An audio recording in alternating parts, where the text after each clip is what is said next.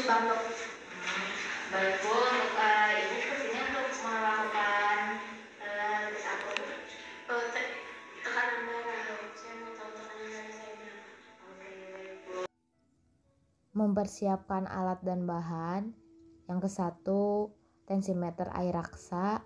Kedua, stetoskop.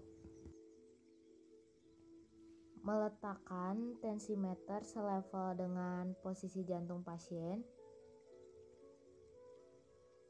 Membebaskan lengan kanan atas dari baju.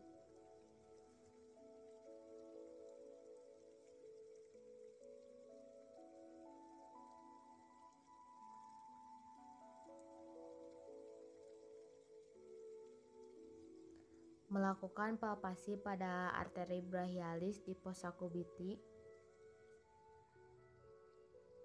Memasangkan manset di lengan atas dengan bagian bawah manset 2-3 cm di atas fossa cubiti dengan posisi lengan sedikit fleksi.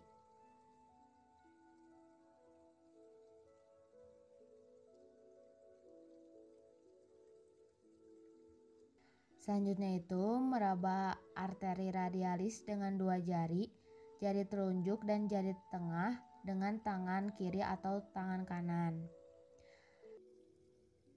Memompa manset dengan satu tangan kiri atau kanan hingga nadi tidak teraba, yaitu sistolik papatoar, jari tetap meraba nadi.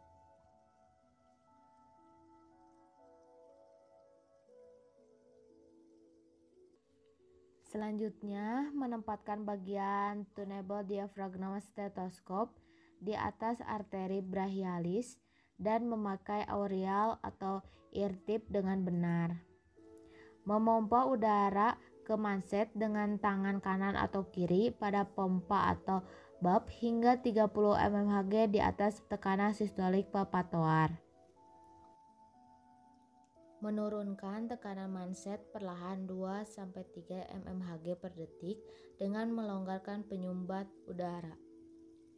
Menentukan suara nadi yang pertama kali terdengar atau korofkop yaitu tekanan sistolik auskultatoar.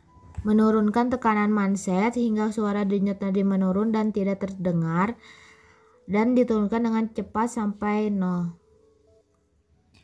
Selanjutnya itu melepaskan tensimeter dari lengan pasien dan merapihkan kembali pakaian yang digunakan oleh pasien dan melepaskan stetoskop yang kita gunakan.